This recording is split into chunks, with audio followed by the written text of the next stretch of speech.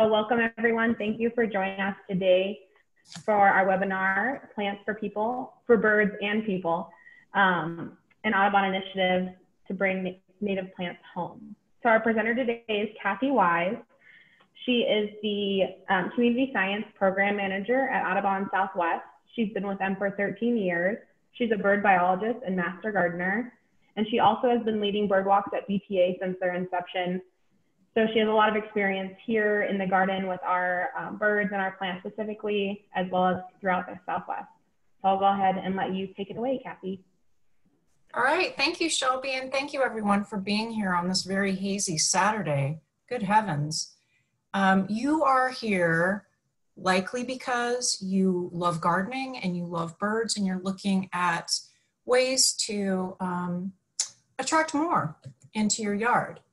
Uh, so you've noticed on your screen, hopefully you are seeing a, um, a poll. Um, and I'd like you to just take a minute now. You can close your eyes. Nobody's watching you, or maybe there are people watching you, but um, let them watch. Just close your eyes, take a minute. Imagine your ideal backyard or porch or your ideal outdoor setting. What's that look like? What's it smell like? How does it feel? And then check the boxes um, and let's see uh, which ones are the most popular. You can check as many as you want. Um, other elements that would include kind of recreational things like a pool or a play, playground equipment, whatever, workout equipment.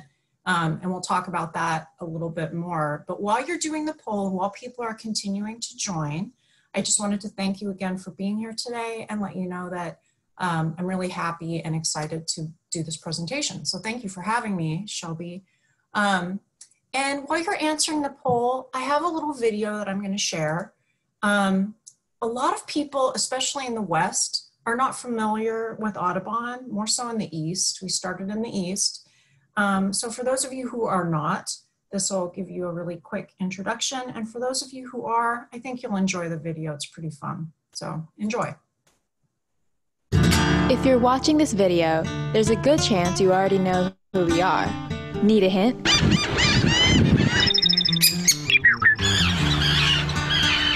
But we have the inkling of an idea that a lot of people don't really know what we do or why we exist. So we decided to take it to the streets to find out what is Audubon? Autobahn Society? Audubon, Audubon, Audubon, Audubon. I know, I know, I know you got the Audubon ballroom. Is it something to do with the German highway? Sounds German. Someone who is ind independent. Let me Google it. Do you know what the Audubon Society is? Yes, birds. That's right, person on the street. But let's start from the beginning. The National Audubon Society began its roots in 1896 when Harriet Hemenway and Minna Hall organized groups to convince Boston society ladies to stop wearing hats donned with real bird feathers. By 1898, state level Audubon societies had been established in parts of the country, and in 1905, the National Audubon Society was founded, an environmental nonprofit dedicated to conserving birds and their habitats. And of course, our society is named in honor of the one and only John James Audubon, an ornithologist and naturalist who painted and cataloged the birds of North America in the 19th century. So that was a little history lesson, but you might be wondering, who is Audubon? More than 100 years later, Audubon is now a group of conservationists, storytellers, and advocates, many of whom work directly on lands around the country to preserve precious bird habitats an award winning magazine in which we publish stories about birds and issues that affect them in the world we all share, an educator for the environmentalists of our future, a host for the annual Audubon Photography Awards, a contest that shows bird life at its most vivid, vulnerable, and elegant, a pioneer in research, for example, using science backed climate models to predict how birds in the US and Canada will react to climate change an environmental organization with almost 500 local chapters. No, seriously, we have a lot of chapters. There's most likely an Audubon chapter, center, or sanctuary in your state if you don't know about it already. And yes, we're also a bunch of die-hard bird people. The National Audubon Society means a lot of different things to a lot of different people. But in the end, everything we do is to protect the birds and wildlife around us, their habitats, and the living, breathing planet we all call our home. What does Audubon mean to you?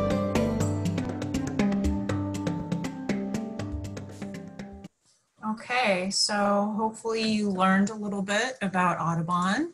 Um, and Shelby, unfortunately, I, I cannot see the poll results. Are they coming in or? Yep, I can click to end the poll now. Okay, so we'll have to check that out. Ah, here it is. Um, all right, so gosh, where to put you? Um, we'll talk about the poll in just a second. Just wanted to kind of wrap up Audubon um, and the fact that in July, Audubon Arizona and Audubon New Mexico joined forces. So we're now Audubon Southwest. If you're not a member of Audubon yet, well, what are you waiting for? Um, we have over 40,000 members, but we could use all the help we can get. Um, and this slide kind of shows you our 12 chapters, where they're located. Um, we have about 25 people working for us and three facilities in both states. So that is that. All right, so let's see. Can I click through?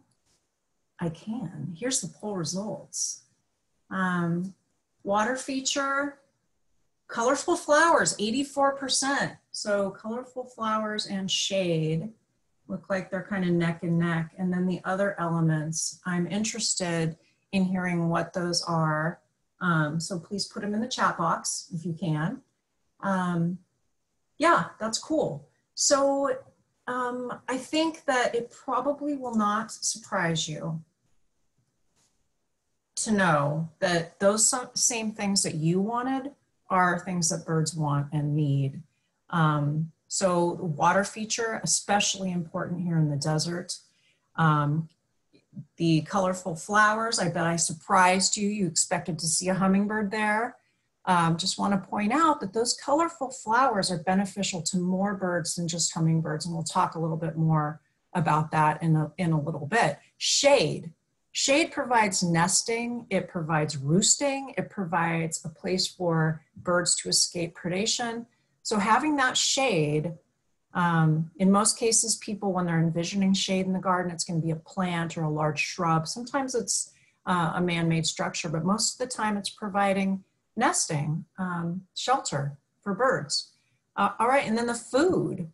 Um, birds may enjoy some of your food crops as well. Um, I just recommend be prepared for that. Plant enough to share. If there's something that you really want to keep birds away from, you know, erect some kind of a, a barrier so that they can't get at it. Um, and usually people can grow vegetables, fruit with birds. Um, and if anything, the birds are helping them with, with pests that could otherwise take the, the plants. Um, and then lastly, a safe space, right? So usually when we're talking about a safe space uh, for recreation, oftentimes it's a place where our kids can play or our dog can run and we wanna keep things in. For birds, when you have that safe space, it's more about what you're keeping out you know, the marauding cats or um, vehicles or whatever. Um, and the reason I wanted to get us all thinking about what we want versus what birds want is birds provide a really good lens. Now, I can almost guarantee none of you were envisioning this landscape. Um, I'm sharing this picture because nothing in this picture is native. Um, there's absolutely, well, I can't say no value, but very, very little wildlife value um, to a planting like this. So why are people doing it? Well, for the longest time, we've had this teeter-totter um, way over to the side of what looks good, what's going to look neat, what's going to provide a screen, what's going to be a, a focal point and an anchor. And we've gotten to the point where we really need to balance that out, right? So yes, you can still have something that's going to look really nice and stay clean and be maintainable, but then you also have to think about food web. You have to think about watershed, um, all kinds of things. And having a more balanced view um, in mind is much better. And, and like I said, we're using birds as a focus, as a lens, Because if you take care of birds, you take care of most of the big problems in the world. Where birds thrive, people prosper. That's true.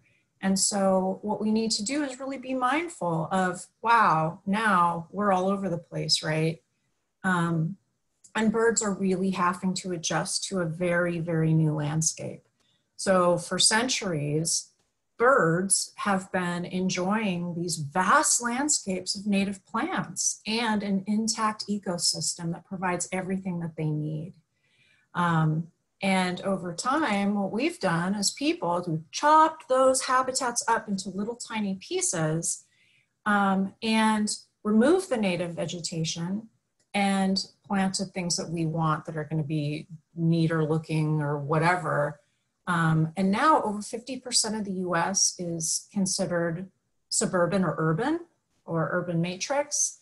Um, and the plants in those areas are typically over 80% non-native. So you look down at this landscape and you think, oh, this doesn't look so bad. If I was a bird, I could make it. Um, it could be a lot worse. Well, the landscaping is just part of the problem. You have to keep in mind that there's other factors that are highly influencing bird populations throughout, well, for what in, in the West, it's water, but throughout our, our country, throughout North America, and actually throughout the world. So these are very, very real challenges that birds are facing, not just in our cities, but outside of our cities um, in the more wild areas that they're using. So I'm talking about climate change, I'm talking about drought. Uh, fire right now is a big one. Um, so it's become increasingly important that we start thinking very um, intentionally about birds and how we can help them. A friend of mine pointed out the other day you know, they're going to turn off water to the cities last. Like if we ran out of water, they're going to keep the people going. And I was like, wow, that's kind of scary, but also another impetus for wow, it really does make a, a, difference what we're planting in our cities. Hopefully, it'll never come to that. But anyway, um, for plant food groups for birds, if we were in person, I would make you answer this um, berries and fruits, nuts and seeds, nectar, those are all pretty obvious. But there's a fourth one that goes overlooked. Um, and I, am straining my ears to hear you. I'm sure you're all shouting it out. It's insects. And people are typically very surprised to learn that almost 100% of land birds feed insects to their chicks. Um, caterpillars are a big favorite. And even birds that you don't think are feeding or eating insects, like your sweet little hummingbirds, oh, they're vegetarians, they're not. They're going after little spiders and gnats, and they need that. They need the protein, um, they need the vitamins. Now, especially caterpillars.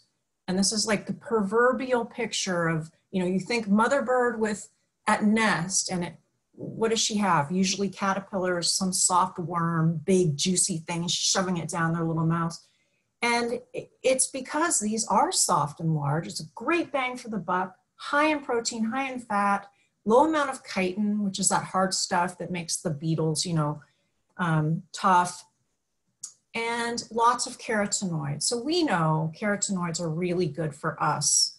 Um, and they're also very good for birds for a lot of reasons. So native plants provide a wide array of insect life, um, and they are better for birds. So let's talk about that for a minute. Uh, on the left-hand side of this slide, you're seeing an oak. Now, this is a native oak. Um, I believe this is an eastern species, but oaks are universally very rich in insect life. An oak can support over 300 species of caterpillars, just caterpillars. Um, and remember, caterpillars are a life stage um, typically in some insect that's going to help us pollinate. So they're pretty important for a lot of reasons. Versus this native oak versus the ginkgo, which many of you may know. It's a lovely tree. It comes from China though. Um, and it's only able to support five species of caterpillars. Uh, and what's worse is it's labeled as pest free after this presentation, I hope that every one of you, when you see something that says pest free, run the other way. Because what that means is it's really going to be devoid of value for birds and wildlife. Um, the other thing I wanted to point out, because people will, will say, well, why can't they, why can't those bugs just eat whatever they have? Well, evolution has happened over a very long period of time. Will these insects start using different plants as that's all they have? Maybe some of them will die out, but some of them may be able to evolve, but not anytime soon. We, we can't wait around for that. So instead, just recognize that insects are specialists. And one of the best known examples is going to be the monarch caterpillar. Um, the monarch butterfly only lays eggs on milkweed. So planting milkweed has become a very, very important job for us to do.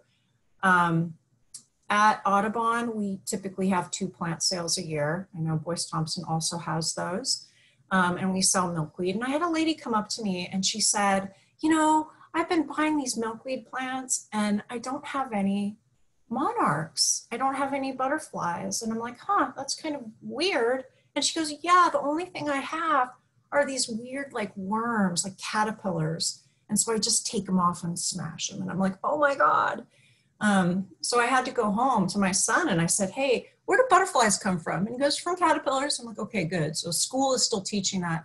Um, and it's also a bigger lesson for you. Like, even if you saw that caterpillar, which I think is really cool looking, um, you may see other larval forms of insects and just be like, ugh, what is this thing? Um, and I encourage you to look it up there's all kinds of resources now. So look up those weird things um, and see what they become because um, sometimes it's really pretty cool, pretty cool metamorphosis. Um, and just so you know, monarchs are in pretty serious decline. I think 90% of our monarchs are gone. Um, but there's still hope. You know, get out there, plant some milkweed, and remember that a world without insects is a world without birds. Here's that picture I was talking about. The mom with those, what are they? Oh, they look like little caterpillars. And she's feeding her young, or he. But remember, those caterpillars had to come from somewhere. Um, unfortunately, the bird can't just like go to the store and get a pack of them. They are, the birds are relying on plants. Um, that's the foundation. So here we are at the nest looking down. This little, it just looks like a piece of bubble gum. It's just this pink little wad. It's kind of amazing that there's any adult birds at all, right? I mean, they look so helpless. And they are, they are helpless. Many songbirds, especially our migratory birds, uh, lay relatively small eggs. Um, their babies are altricial, which means that they do most of their development outside of the egg. so when they hatch, they're like this, naked, blind, needing a lot of protein, a lot of food, um, versus a, ch- a, chicken, which is precocial.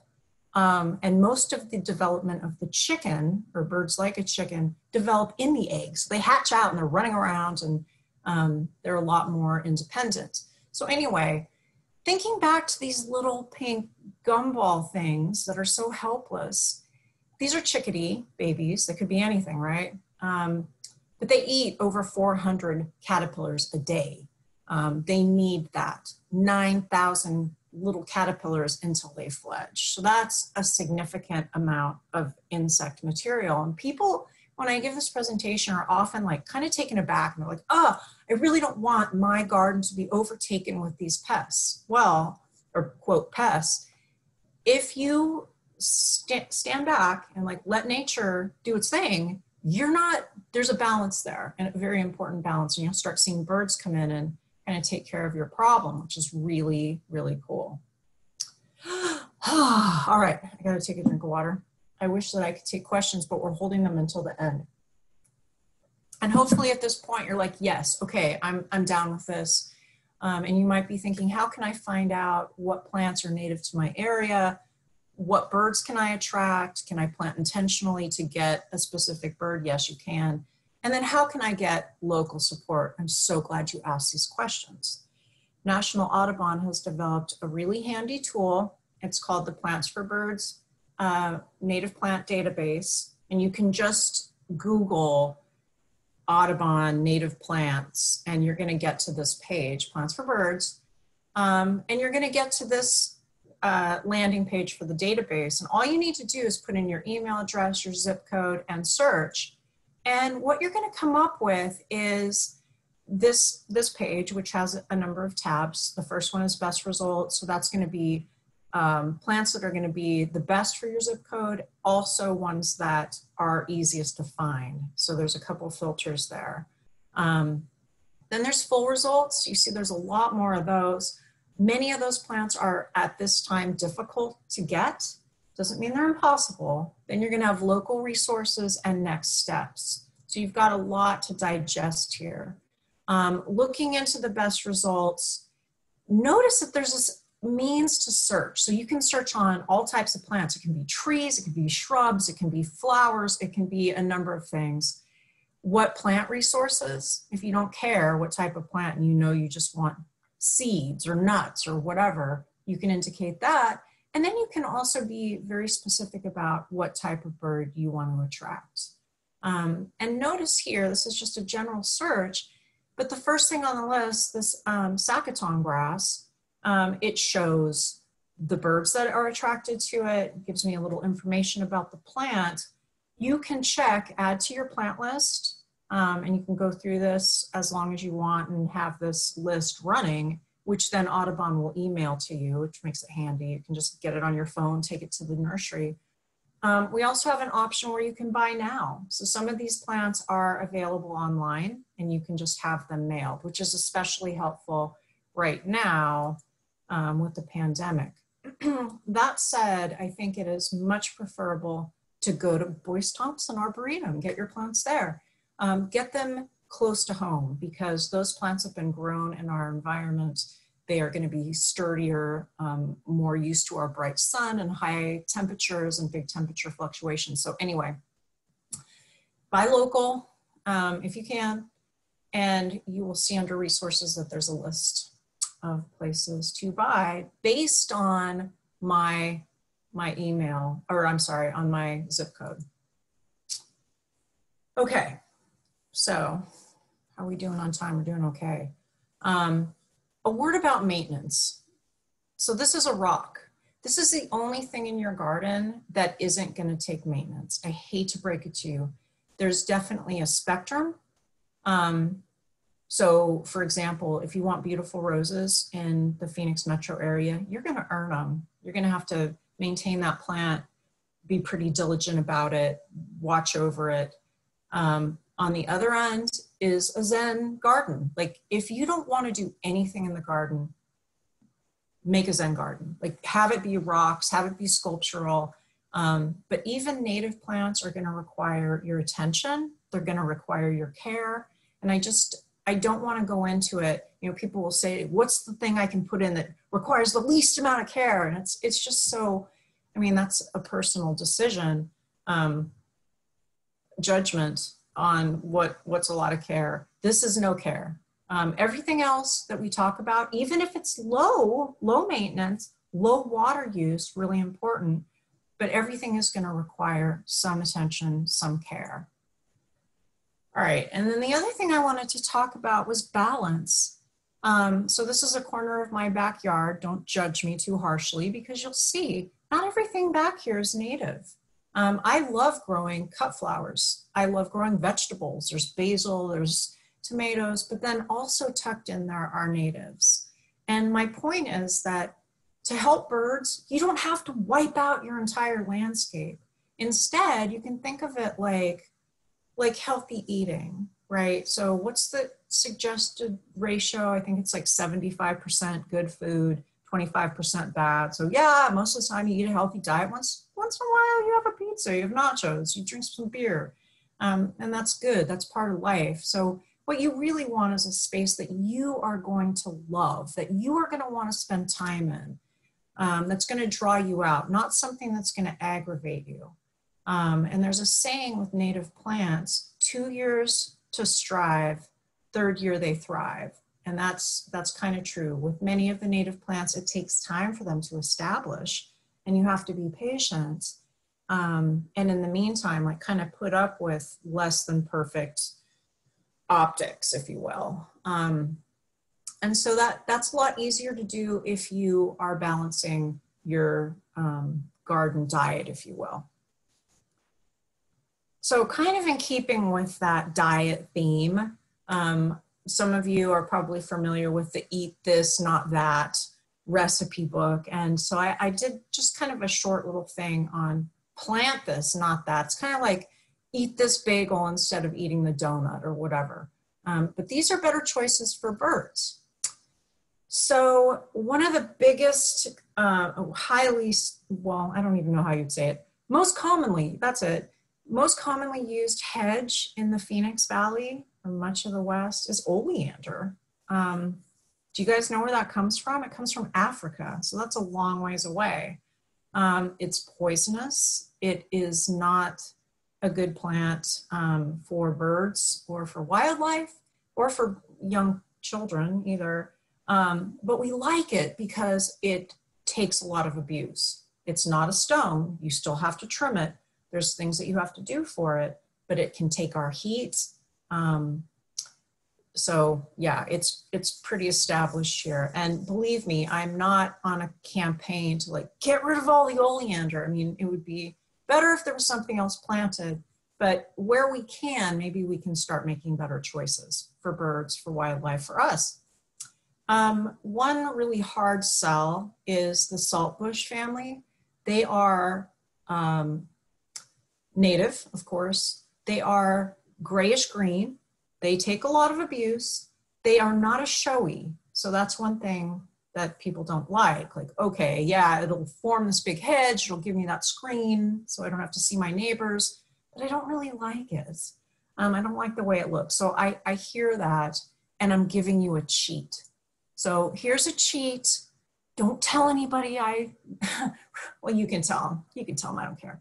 This is Texas sage. Um, Texas sage is native to Texas, so that's a lot closer than Africa. Um, I think people love it. It's a very popular landscaping plant here in the valley and elsewhere, all throughout the West.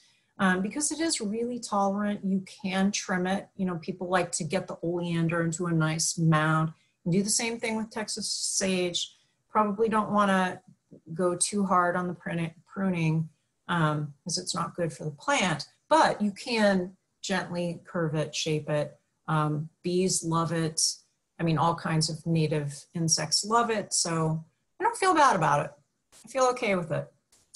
Um, and while we're on kind of the hedges are more like the big, you want to form like kind of a natural wall. These are shrubs. So with bougainvillea, um, again, it's very popular and for good reason. It provides color, it's easy to care for. It's also thorny as hell. So if you have a bougainvillea in your yard and you're doing your own yard maintenance, I can't, I mean, you're, you're gonna learn to not like this plant as much because gosh, those thorns are wicked. Um, there is a place for thorns in the garden. If you want that protection, that added protection, to keep unwanted visitors out of your yard, bougainvillea is a good choice. A better choice, oh, and bougainvillea is from the Mediterranean. So across the big pond, that's a long ways away. Desert hackberry, native plant, um, has thorns, so you can use it for that protection. And this is a darling plant for birds. They'll nest in it. Um, in the springtime, it has little tiny flowers that are attractive to butterflies. So you'll have those. Um, and then there's these little orange uh, fruit. They're kind of tart, kind of tangy, um, and the birds love these. And so you'll have these fruit um, persist on the plant if birds don't come um, into the late fall and winter. So you that provides you with some color in the garden, um, which I think is great. I love desert hackberry. I'm a big fan. All right, so vines cat claw vine. Here's another one you see everywhere. Where's it from? West Indies, okay, West Indies and also like Eastern Mexico. Um, so it's a long way from home. It'll tear your house apart. Like it's very aggressive. Um, it grows quickly, doesn't require a lot of water. Um, it can become invasive. So if you have it, you, that's that becomes a maintenance issue because it's like I said, it's just going to take your house over um, some people like that look, but it is not as good as something like Queen's Wreath, which is native to the Sonoran Desert. Um, bees love it, hummingbirds love it. Um, it's a beautiful plant uh, and a really much better choice than cat claw vine. All right, so cheating. So these are things that are like, um, like oven baked potato chips. Like it's better for you to eat vegetables. Like it would be better for you to plant a native plant. These plants, lantana and Mexican bird of paradise, are both native to Sonora. So that's pretty close to us. Um, lantana I have in my yard and I really like it because hummingbirds use it, butterflies use it, um, and then after the flowers are done, uh, this plant produces like a little fruit. It almost looks like a blackberry, and the mockingbirds adore that. So it is providing some pretty important services to the birds. Um, also, it blooms, it's blooming right now. What else is? um, I'll tell you what else is Mexican bird of paradise. So these two are going to be like your late summer mainstays. Um, both of them provide some value. So Mexican bird of paradise, hummingbirds love. Um, the Mexican bird of paradise, it stays green all year. So you can trim off those dead flowers, form it into a mound. Lantana is also a very forgiving plant. You can form that the way you want. Um, so both of these I think are, are good choices. Um, and, you know, regardless of what you choose, when you bring it home, there's some definite do's and don'ts. Um, so let's start with the don't. Do not ever yard a plant out of the pot by its stem. Plants have lots of leaves, they have lots of roots. Typically, they will have one stem. And if you damage the stem, you're going to kill the plant. So try not to do this. Um, if you have trouble getting a plant out of the pot, the best thing to do is just kind of um, you want to just slide it out, supporting the stem, being very gentle. Um, if it's not coming out, go ahead and put it on the ground, roll it with your hands, roll it with your feet. Sometimes you'll notice that at the bottom of the pot, the roots have grown out and they're kind of keeping the plants in. Go ahead and just cut those off. Um, and when you do finally slide the plant out of the pot, um, oftentimes you're going to see a, a mass of roots. You're going to want to kind of feather those out a little bit. Don't just plunk, a, plunk that into the ground. You really don't want your plant plant roots to continually grow, growing in a circle as if it was contained. Instead, just go ahead and, and feather those out a little bit. Um, go ahead and put the, put the plant in the ground. just a, a, couple words about how to put it in the ground. Um, you really don't want to bury too much of the plant underground unless you're planting tomatoes. So tomatoes like being planted deep like this, like this first example. This native plant is very unhappy. You can see that. Don't, don't do this. Um, also, more common is to not dig a deep, deep enough hole because the ground is so hard and you're like, oh my God, I'll never finish this. This has got to be good enough. You plunk the plant down and then just mound soil up around it. Looks like a little volcano when you're done. And that's no good, no bueno um, what happens with that volcano shape, um, the roots of the plant heat up faster than if they were actually in the ground. Um, and so they can, they can heat up, they can dry out, uh, pests can get in more easily. It's just a bad, bad thing. Just take the extra effort, um, eat an extra bowl of Wheaties, get that hole to be the same, the same height as the plant that makes any sense. Um, so that's what you're shooting for. I also wanted to introduce some common, I almost said common criminals, they're not criminals, common visitors to the garden. Um, these are four birds that you're likely to see um, when you start providing some native plants. these are very, very easy to attract. So first of all, we have the verdin. This is a tiny bird, for those of you who aren't familiar with it. Some people think they mistake them for hummingbirds because they are so wee. Um, and there is a Native American story about how the Great Spirit reached down and grabbed a verdin by the wings um, and kind of left those marks on its wings, those epaulets, um, and ki kissed him. And that's why he has the yellow head. I, I always thought that that was a really sweet story. Um, anyway, next we have the house finch. Um, these have a beautiful song. Um, they're a fun little bird, usually in groups. The Abert's towhee um, is a very interesting bird. It has a limited range. It's only found in Arizona, New Mexico, and part of Texas. So, I mean, this is its home in the whole world. I mean, that's pretty cool. Um, you, you could attract them to your yard. Um, and then lastly, the hummingbirds. Hummingbirds are probably the easiest thing to attract. Here in the, the Phoenix Valley, we have three species that we commonly see. Anna's hummingbirds are the most common.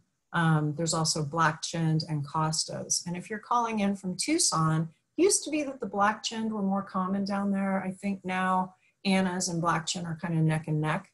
Um, but anyway, we're, we're really lucky to have so many species of, of hummingbirds that we can see and enjoy here. And these birds, even though they are so common, are under threat. And I think you guys kind of got that from the very beginning of this presentation. Um, but one thing I wanted to make you aware of was a new report that Audubon did called Survival by Degrees. It came out in 2019. Um, oh, almost 400 species in North America are, are at risk because um, that their habitats are changing, the climate is changing, and things are shifting. Um, and this is a tool that you can look at when you have time if you're interested. Um, climate.audubon.org, easy to navigate to.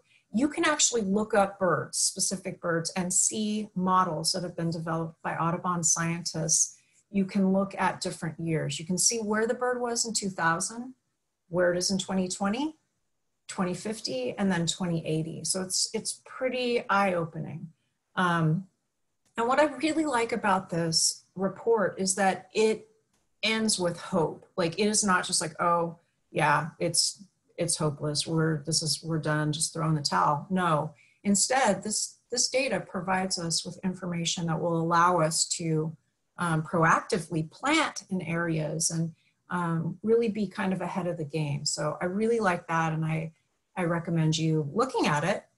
Um, and I really hope that this presentation has left you hungry for more, right? Um, and so I wanted to share with you some upcoming events. Um, hopefully some of you are, are Audubon friends and you know that our center in South Phoenix has been closed since March. It's still closed. Um, we do not have a reopening date at this time. We're keeping an eye on community spread and um, a couple other factors that need to be in the green before we're going to open our doors again. Um, we started doing our very popular Birds and Beer uh, third Thursday monthly kind of lecture and beer drinking time. Um, we started doing them as webinars. I believe there's going to be a webinar in October. There isn't one this month. Um, and then in person in 2021, we're certainly hoping so.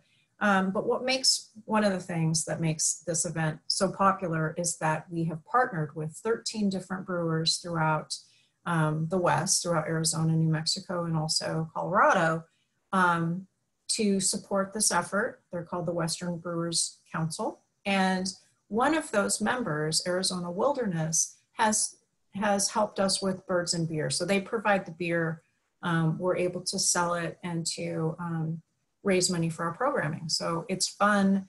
Um, each month we have a different speaker, uh, and so you can learn new stuff. And our webinars were actually quite popular. We were surprised. Um, but yeah, we're hoping to meet again in person. Conservation Work Days used to be the third Saturday of each month. We are planning on hosting in November. Um, and we do we have a partnership with Wild at Heart. We're doing burrowing owl relocation, so we're going to be focused on that. Um, and then the last thing I wanted to share was grow at home. So given the pandemic and the fact that so many of our volunteers are just stuck at home, um, we started a program, just piloted it. We weren't sure how it would go, where you could sign up and get a kit in the mail. Um, this fall, we're focused on sunflowers. We made 50 kits you get this kit in the mail, you grow 10 sunflowers, we're letting you keep five, five you give to us. Um, you can just drop them off at the center in October. We're gonna set all that up.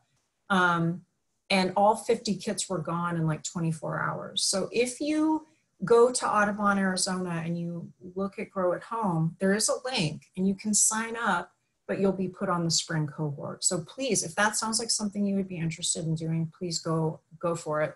Um, because we're really excited. I think that there's a lot of opportunities for that. And with that, I'm going to open it up for questions. And I know that several of you reached out to Shelby before this presentation. Um, and you had questions and I wanted them to be saved. So I just wanted to see what questions we have.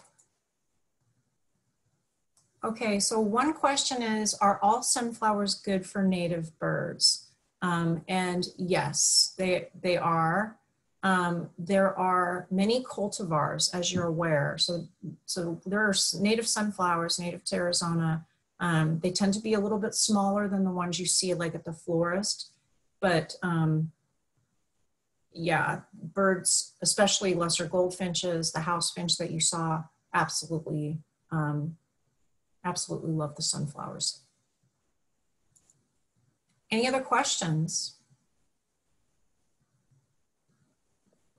I put two questions in the chat that came through on our Facebook live stream if you want to check out those, Cathy. Okay. All right, so I've stopped sharing. I guess I don't have didn't have to do that, but I wanted to see what was going on in the rest of the world. Um, okay, so from Facebook, thanks for this. Is there also a site on Audubon where you can look up the number of each species of birds in your area by zip code by year from the Christmas count? Wow, um, that information is really difficult to get. Um, I mean, it's difficult to estimate. So for those of you who aren't familiar with the Christmas bird count, um, that count has been going on uh, for 200 years, so a long time. Um, 200, 100, a long time anyway. Um, and it is one day, a one day count um, between December 14th and January 5th. So it's in the wintertime. So we're missing a lot of the um, our migrants, the ones, the birds that just come here to breed and then go back to Mexico or wherever they're going. Um, so it's a really good kind of snapshot in time of those birds. However, you would be missing, and you can look that up, not by zip code, it would be by, by count circle, and the count circles are 15, um, 15 miles diameter. Um, you can look up the count circle, you can get reports that way, but just recognize that that's only winter birds. That's not going to be everything. Um, so just keep that in mind. I hope that helped. Um, but you can definitely get those resources through just Google Audubon Christmas bird count data, and you'll be able to, to hunt and peck away, heart's content.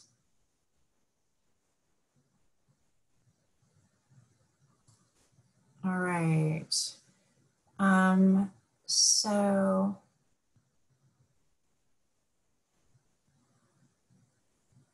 another question from Facebook. I live in Northern California, zone 10A, and have been trying to grow Mexican bird of paradise for four years.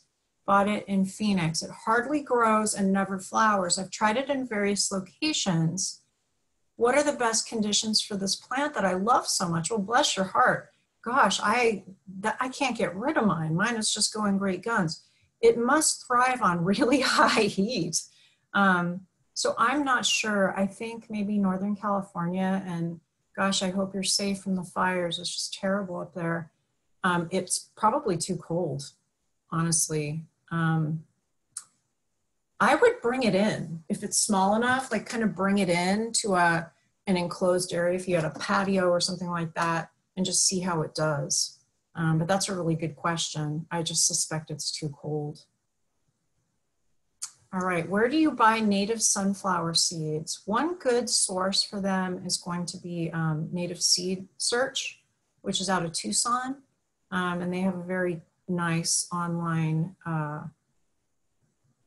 portal for buying stuff. Um, so they're good. I've also seen um, I've seen the seeds at a couple different nurseries, kind of higher end nurseries.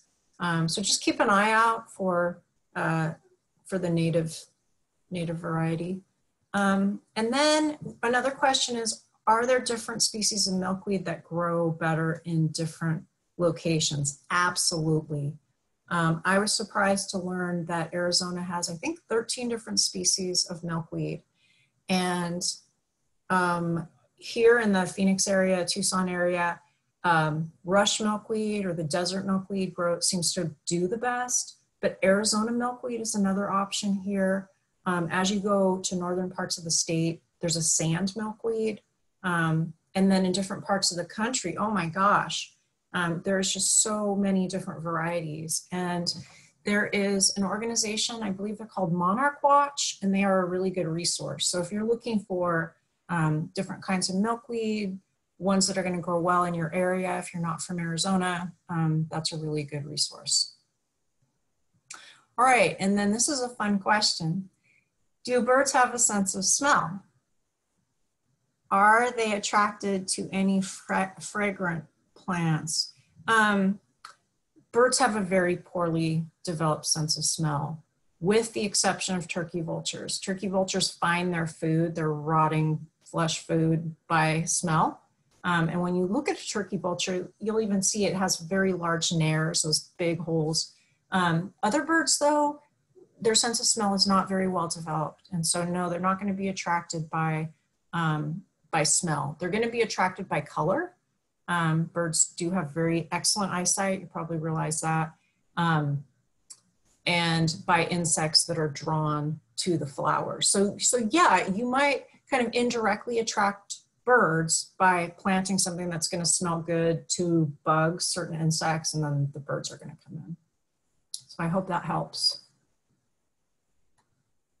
Um, are there books you recommend on what plants, in addition to what you have mentioned, that are good plants, that regarding good plant, bird plants as well as water and climate friendly to both the plants and the environment? That is um, a great question, and there are so many books. Um, so I would love to follow up with you um, and just provide a list um, I can't do that really right here, but um, I bet that Shelby you probably also have some resources as well. So um, my email address is my first name, Cathy with a C, dot wise, W-I-S-E like an owl, at audubon.org. So um, if you wouldn't, if you have a question like that and you kind of need a list or something like that, or you want to follow up with me afterwards, I would be really happy to help you.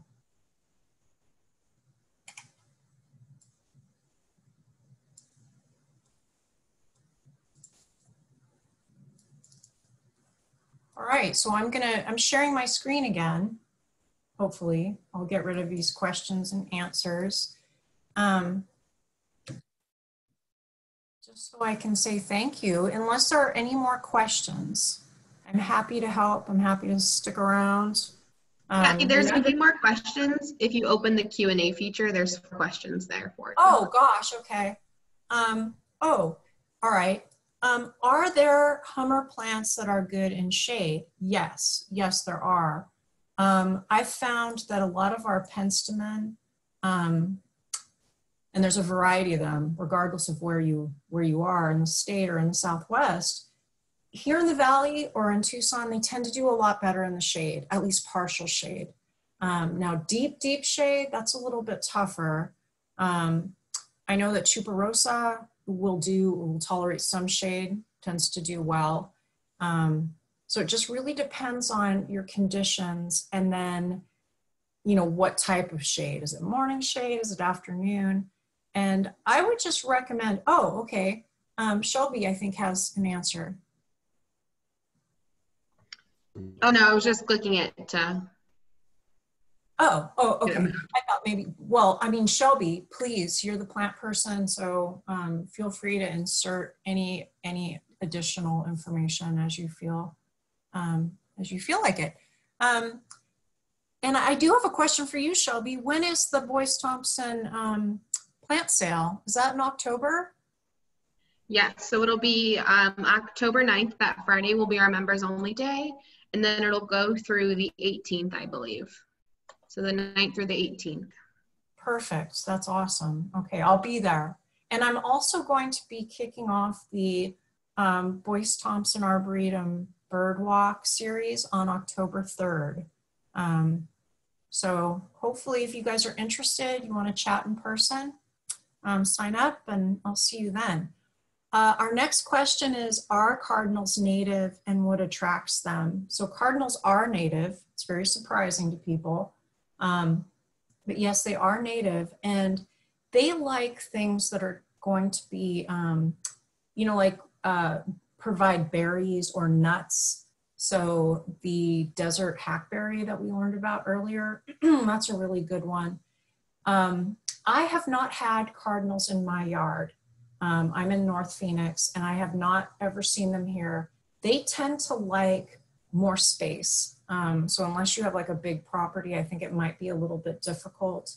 Um, they like water, you know, if you can provide a water feature. Um, yeah, so that's a good question. And then what plants can you plant to attract Abert's towhees specifically? So that's also a really good question because Abert's towhees like to forage on the ground. Um, so they're going to like having shrubs they can get underneath.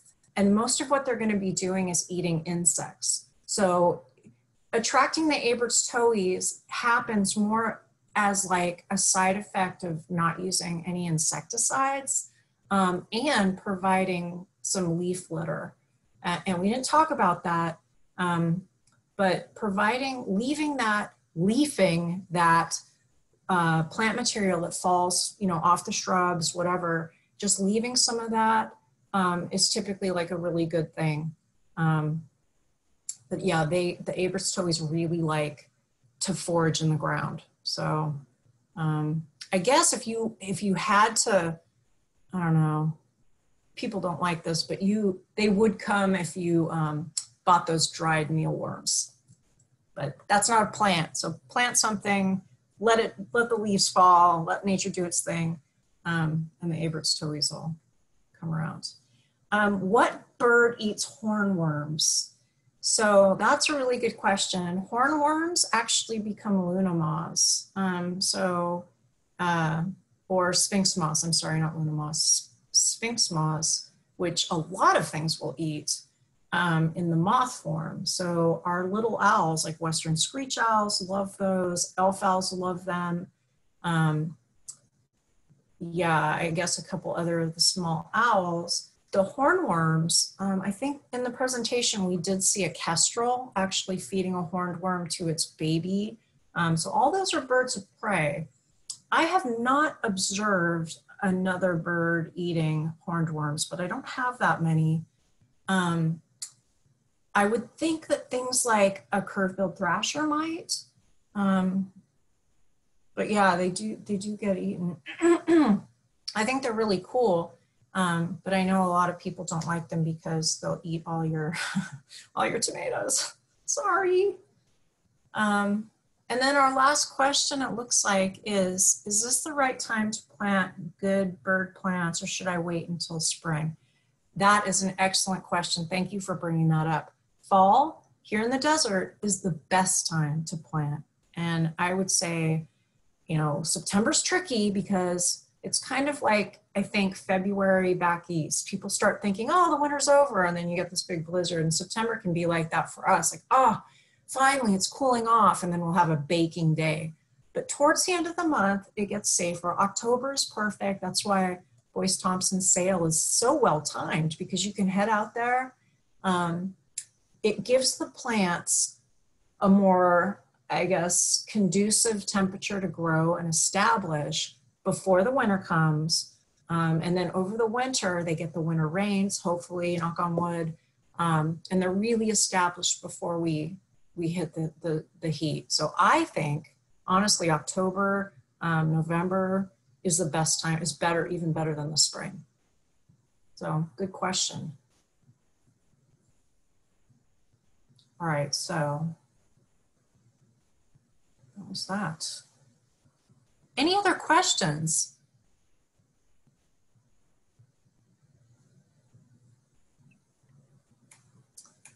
Okay. Well, thank you, Cathy, for sharing this presentation with us today. We really appreciate you taking the time. Was there one more? Oh, yeah, it was my pleasure, but I'll answer this last question before I, I sign off. Um, desert willow, is it a native tree to Arizona? It is. Um, and yes, so this participant lists a bunch of birds in your yard that like it. Um, yeah, I, I love desert willow and it is probably the best desert tree to plant in a suburban landscape. All of the desert trees are fantastic for birds, but they can present big challenges for homeowners because they, um, if they're getting water, they tend to grow really big. Um, they will need to be trimmed back, they will need to be pruned. Desert willow is beautiful. Um, it's very interesting, has gorgeous flowers. Um, it's it, it will take some pruning so you can shape it the way you want. And what I really like about it, some people don't, is it's deciduous, which means, you know, like many of our other plants keep their leaves all year. Desert willow loses its leaves. So you have a different look in the garden. You have a different view. All of a sudden you can see through it. And in the spring, it's really exciting to see that green growth again. You know, it's just like, oh, spring is here and it leaves out. Um, yeah. So Desert willow is native. Awesome. Well, thank you again, Cathy. We really do appreciate you taking the time to share this information with us and all of our guests here today. And thank you to everyone who joined us. Um, we appreciate your support of all of our programs virtually and um, throughout the summer keep an eye on our different e-news, our Facebook, um, our website for announcements of in-person events this fall. We are implementing um, some in-person tours and walks like Cathy mentioned, such as bird walks, etc., um, all with um, limited capacity um, to ensure social distancing and safety in that aspect. We are requiring masks for those as well, just to ensure the safety of our guests and the safety of our guides. So go ahead and take a look at those. We do have some changes just with pre-registration for tours, things like that that are a little different from the past. So if you have joined us before, make sure to take a look at some new ways we're doing things just to make sure everyone stays safe this season. So thank you again for your support and we hope to see you in the garden soon. Bye-bye. Thank you.